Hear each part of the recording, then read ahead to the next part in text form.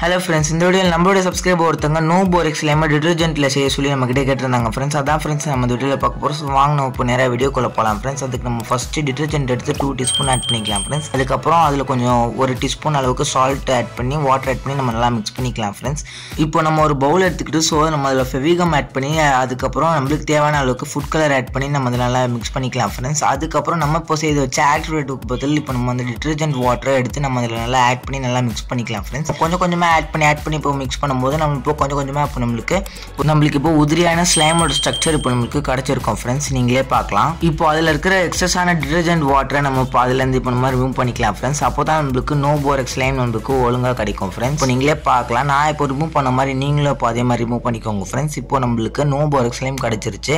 பாருங்க friends slime எல்லாம் சூப்பராக இருக்கு சொல்லிட்டு. இந்த வீடியோ பிடிச்சிருந்தா மறக்காம ஒரு லைக் அண்ட் சப்ஸ்கிரைப் பண்ணுங்க ஃப்ரெண்ட்ஸ் அப்போ தான் மேற்கொண்டு நிறைய வீடியோஸ் போகிறதுக்கு மோட்டிவேஷனாக இருக்கும். இந்த வீடியோ பார்த்து அனைத்து நம்மளுக்கும் நன்றி வணக்கம்.